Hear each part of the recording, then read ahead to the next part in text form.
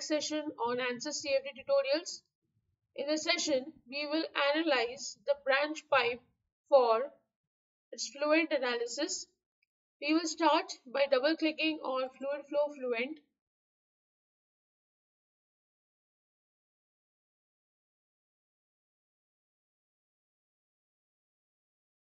I have the geometry made with me, so I'll directly right click here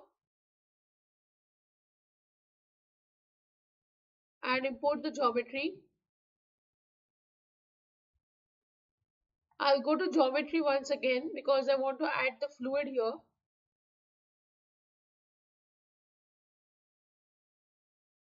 You can see here one part, one body. So we need to add the fluid in between. So I'll go to tools, fill. It is asking for the faces. So this is the first face. Then I'll press the control button and select the other faces. So you can see here all three of them have been selected. Then I'll click on apply and generate. Now you can see there are two parts, two bodies. This is the outer one. So I'll rename this as wall. And this is the inner fluid. So I'll rename this as fluid itself.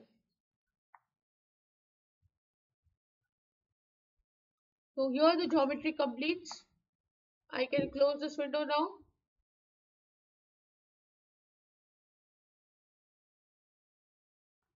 Then I'll go to mesh and double click.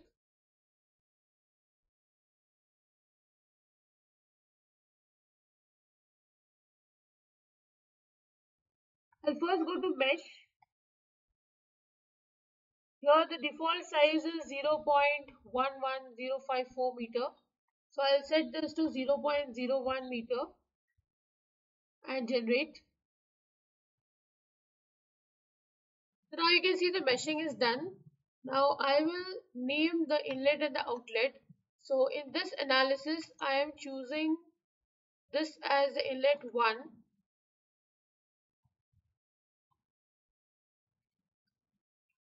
This is the inlet 2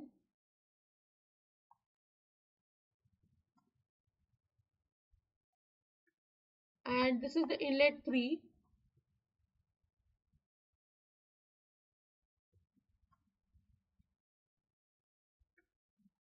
I am choosing this end as the outlet.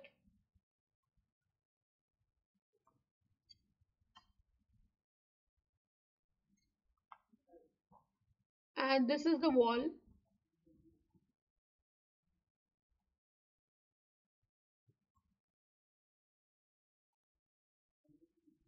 You can see the name selections here. Just go to mesh and update once again.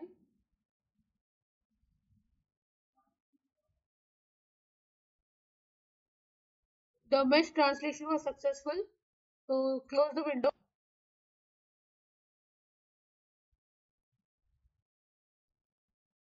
I'll go to setup and double click now.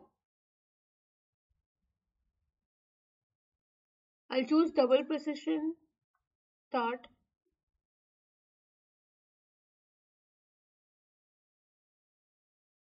I'll first go to gravity.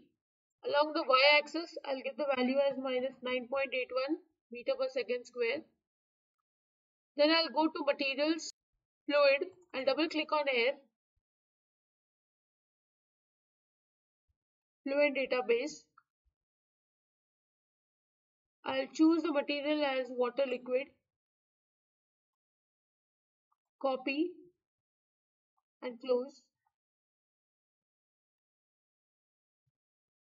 Then I'll go to solid and double click on aluminium. Fluent database. I'll change material type to solid and choose steel. Copy and close it. Once this is done, I'll go to cell zone conditions, fluid. I'll double click on fluid Material name, I'll change it to water liquid, apply and close it. Solid wall, I'll change this material to steel, apply close. So once the cell zone conditions are given, I'll go to boundary conditions. Inlet, for the first inlet, I'll give the value of velocity as say 2.5 meters per second, apply and close. For the second inlet, I'll give the value as 2.7 meters per second. And for the third one, I'll give this value as 2.9 meters per second. Apply and close. So I've given the boundary conditions for the inlet. Then I'll go to reference values. I'll compute from inlet 1. Reference zone is the fluid. Then I'll go to initialization and double click here. Standard initialization. I'll compute from all zones and then click on initialize. Then I'll go to calculation activities, auto save every iteration. I will give here the value as 50. Okay. So once this is done, I'll go to run calculations. I'll give the number of iterations as say 500 and calculate. So now the calculations are complete. You can see the results here also if you want. I'll just show you. You can go to graphics, contours. Here I want to see contour of pressure. I'll change static to dynamic pressure. I'll select contact region TRG, save display. So here you can see the result and here are the values. The highest value is 5.16 into 10 raised to 4 Pascal. That is in this zone you can see here and these are the minimum pressure zones. The value is 2.05 into 10 raised to 1 that is 20.5 Pascal in these zones. So that's how you can read the results from here. Now, if you want to see another contour, I'll double click here. I'll change pressure to velocity, contact region TRG, save display. So here you can see the value of velocity. In certain zones it is more and most of the cases you can see it is blue in color. If you want to see a detailed one, we will go to the results tab. So just close this. Okay. So you get back to the main screen, double click on results. So once you are on this screen, you will go to inlet 1, double click on it, go to render, change the transparency to 0.9 and apply.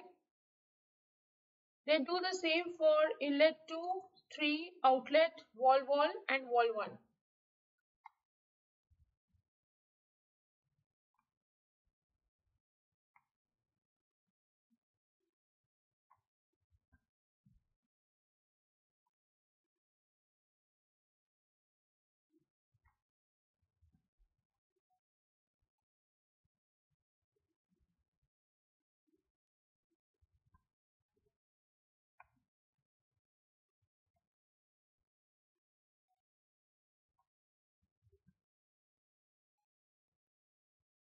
Now once this is done, I'll go and click on streamline. Okay. I'll start from, now there are three inlets, so I'll click here and select all the three inlets by pressing the control button. Okay. And apply.